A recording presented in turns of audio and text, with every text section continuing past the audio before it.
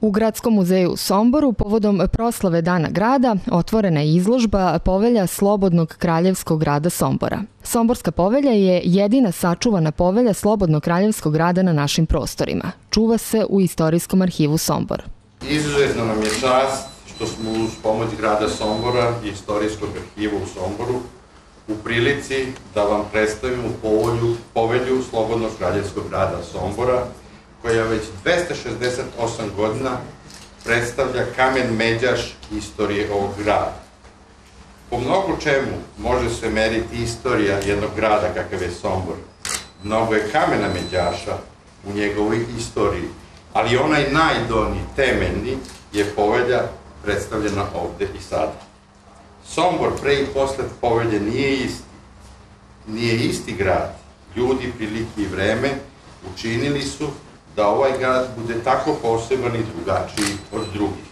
Carica Marija Terezija 21. marta 1747. godine odlučuje da Somboru dodeli status slobodnog kraljevskog grada uz uslov da grad uplati carskoj blagajni naknadu od 150.000 rajnskih forinti.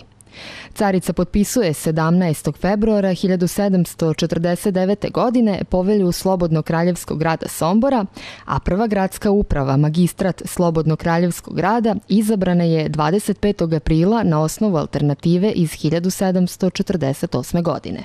Ova povelja je prvo plaćena krvlju, a kasnije je plaćena i zlatom. Cena slobode nije mala i to ne smemo zaboraviti.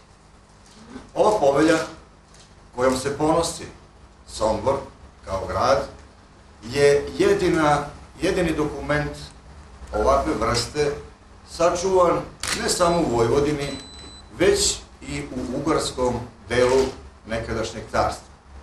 Ova povelja je omogućila gradu Somboru i Somborcima da slobodno izražavaju svoju volju, da upravljaju sami svojom sudbinom, slobodno trguju i da od Sombora naprave jedan multikulturalni, multietnički i grad tolerancije.